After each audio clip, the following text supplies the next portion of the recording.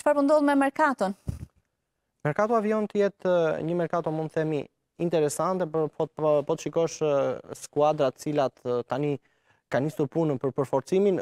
Këto ditë në fakt kanë qenë ditë të qeta. Menjëherë sapo nisën ato lëvizjet e para, pati një vrull të madh, po të shikoje lëvizjet drejt Arabisë Saudite, madje ka 2 apo 3 ditë që ne nuk shohim më lëvizje drejt drejt tokës arabe, duket se kanë gjetur Disi qetësi këto skuadra, Europa pa dyshim me Premier Ligën që, që e cila vijon të jetë mund të themi udhëheq gjithë kampionatet dhe gjithë merkaton në Europë.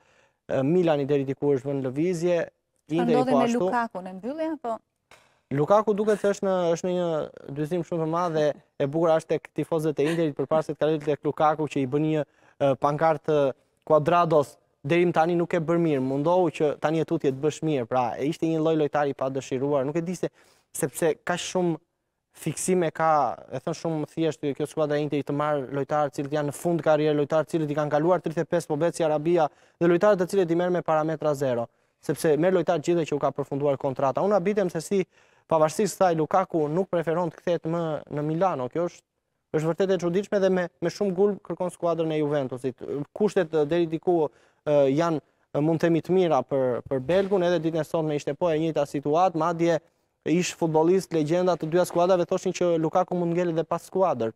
Dhe dhe në, në atë formë që ka aktualisht besoj se do të do të shkaktonte shumë dëm që një sulmues si Romelu Lukaku i cili ka arritur të bëjë mjaft mirë në sezonin e fundit të mbetej pa skuadër, por normalisht pavarësisht ecurisë që ka pasur Milani, që ka pasur Interi, Roma apo Lazio, duket se prapë Esmeralda Juventusi edhe në pikën e tij më më të keqe, në pikën e tij më negative, mund të thithë dhe mund të tërheqë emra të, të lojtarëve të njohur, nuk mund t'i cilësoj të mëdhenj. Çfarë po ndodh me futbollistin serb të Juventusit, që duket se vazhdon të ketë revolta në Francë kundër tij? Po, Vlahovic, çfarë po jo, ndodh me mua, kush? Unë në fakt e kam parë një lloj një lloj jo gëzimi, nuk e di, një lloj gjesti, do më mirë ta quajmë gjest që i bëjnë lojtarët, ajo i tre i tre gishtave që bënte Vlaovic dhe menjëherë mbishkrimi edhe në bluzë.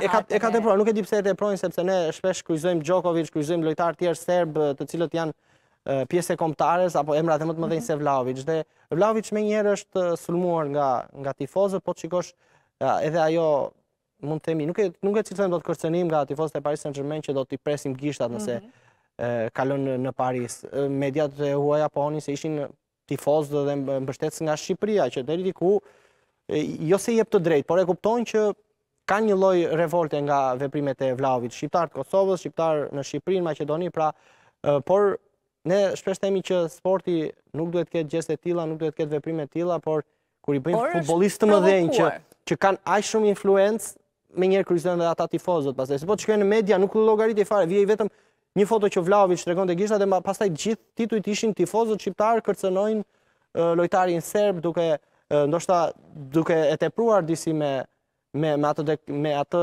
çka ata treguan duke e tepruar dhe mediat më tej. Duket se ka një influencë të madhe edhe vetë mediat ndoshta nga nga Vlahovic, mm -hmm. një nga yjet e futbollit, jo vetëm të futbollit serb, por edhe të futbollit në, në Evropë, por jam i sigur që PSG është nga ato skuadra që nuk është se ka një respekt shumë të madh për tifozët e saj. Në rast se e ka në synim që ta blejë Vlahovic, që të blejë një lojtar tjetër, besoj se do ta do ta transferojë dhe do ta bëjë pjesë të skuadrës. Edhe do dështojë sigurisht. Faleminderit Enrico. Kënaqësi.